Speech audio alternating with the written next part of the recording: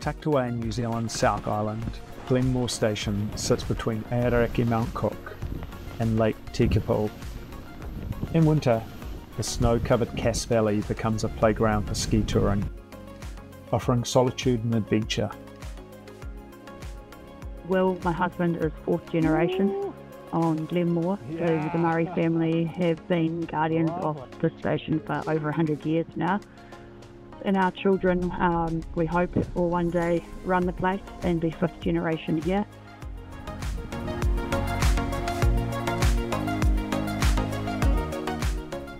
Um, Memorial Hut, which is one of the historical mustering huts on Glenmore, has also been a good base for ski tours over the years. Subsequently, we then built the Falcon's Nest and then the Whiskey Hut up on the ridge between the two huts, which is always thoroughly enjoyed. And then uh, two years ago, we established the O'Leary's Hut up above uh, Waterfall Hut.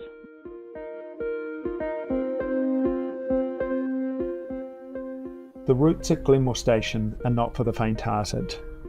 They stretch across rolling ridges and descend into deep chutes, offering pristine, untouched runs deep in the mountains.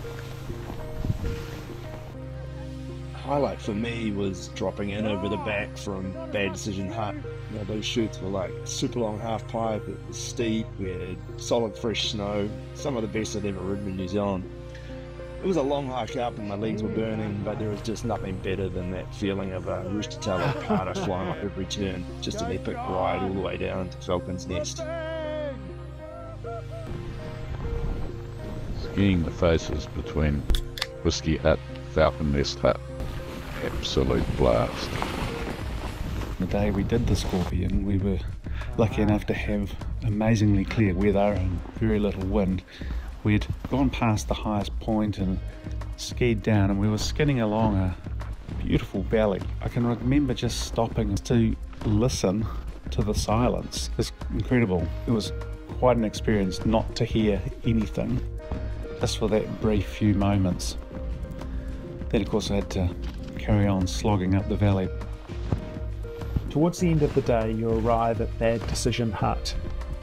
Here, you search for your pre ordered whiskey bottle. Tales are told, and the whiskey helps soften the memories of the long climbs and improves our skiing for the last run home. The Whiskey Hut is, provides whiskey at the highest altitude um, of anywhere in the world, as far as we know. So um, we're pretty proud of what we've developed up there.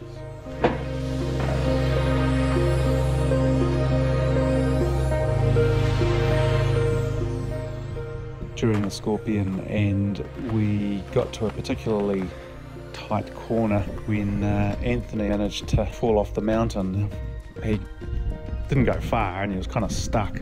The funny part was, he, after he had rescued himself and got going, not only did I do exactly the same thing on the same corner, but after extricating myself, I managed to do it again for the third time on the same corner.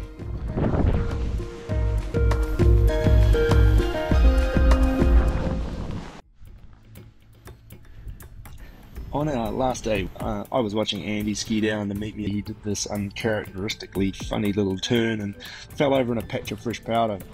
It turned out his ski had come off, flown straight past me, had hit a snowbank, had launched up and over into the valley below. And if it wasn't for the launch angle, it would have kept going several hundred meters down the mountain. But uh, luckily, it went up and down, landed not so far away, so crisis averted.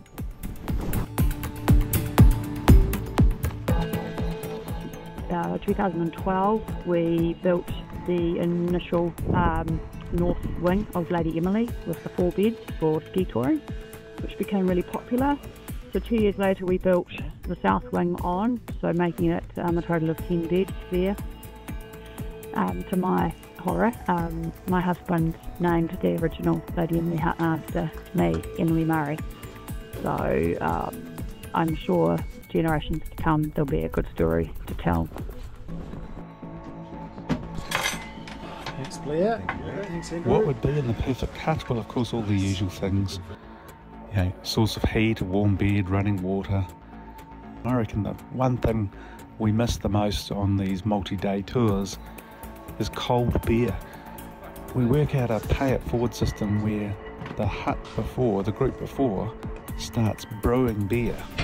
They bring in the ingredients, get the brew going, and then the next group brings in the next lot of ingredients. But they enjoy the cold beer the previous group has brewed before. I reckon I'm onto a winner here. We all have opinions on best hut ideas. Obviously, getting warm and dry quickly is important, so good wood burner, critical. Lady Emily did that right with great insulation. Collecting water for cooking and hydration is important too, but there's got to be a better way than melting snow and ice off the roof into pots. Personally, I love good coffee, and highlight was Andrew's portable Nespresso. Your perfect mountain hut needs three things a helicopter for access, running water, and free whiskey. To ski tour Glenmore Station is to step into a place where time slows, where the land's raw beauty offers a challenge and reward in equal measure. We just love sharing uh, that with people who um, go up there and, and visit more and go and enjoy uh, the hills.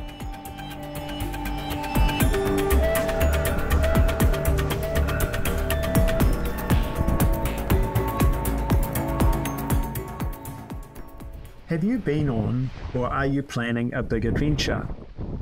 Our short film service, Short Films Big Adventures, will turn your once in a lifetime bucket list adventure into a stunning, interesting film that you can share and enjoy with family and friends forever.